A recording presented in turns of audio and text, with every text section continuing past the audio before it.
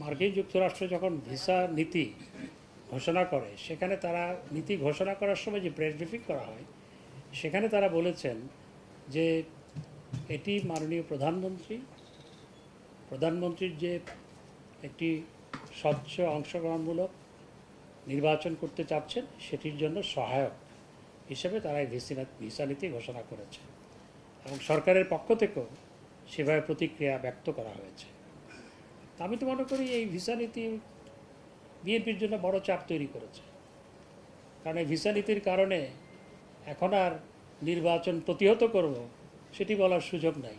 কারণ তারা ভিসা নীতিতে যেটা বলেছে, সেটি হচ্ছে এটি সরকারি দল, বিরোধী দল সবার ক্ষেত্রে প্রযোজ্য। কেউ যদি নির্বাচনে বাধা দেয় এবং গণতান্ত্রিক প্রক্রিয়াকে বাধা দেয়, তাহলে তাদের তাদের ক্ষেত্রে এটি প্রযোজ্য। নির্বাচন বর্জন করা তো গণতান্ত্রিক প্রক্রিয়াকে বাধাগ্রস্ত করা।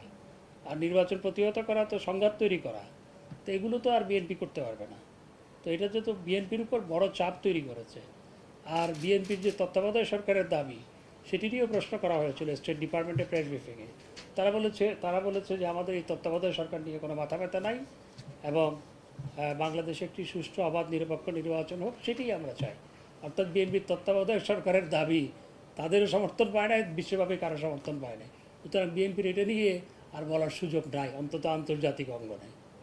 সুতরাং এটি তাদের উপরে বিরাট চাপ তৈরি করেছে। এটা এতেই বিএনপির এই বক্তব্যতেই স্পষ্ট যে বিএনপির উপর এই ভিসা নীতির কারণে বিরাট চাপ তৈরি করেছে এবং তারা আর প্রতিহত প্রতিরোধ বর্জন এগুলো বলার সুযোগ কমে গেছে বলা যাবে না।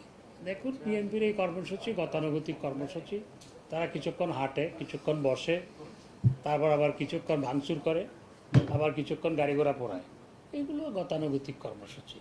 এখন হয়তো বসার কর্মসূচি দেবে, হাঁটার কর্মসূচি দেবে, কিংবা দৌড়ানোর কর্মসূচি দেবে। এগুলো গতানুগতিক, এর বাইরে কিছু না।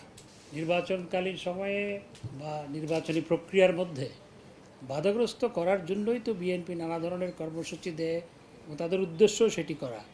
আমি মনে করি যে মার্কিন যুক্তরাষ্ট্র যে ভিসা নীতি ঘোষণা করেছে, এটার প্রেক্ষিতে তাদের সেগুলো করার সুযোগটা অনেক কমে গেছে।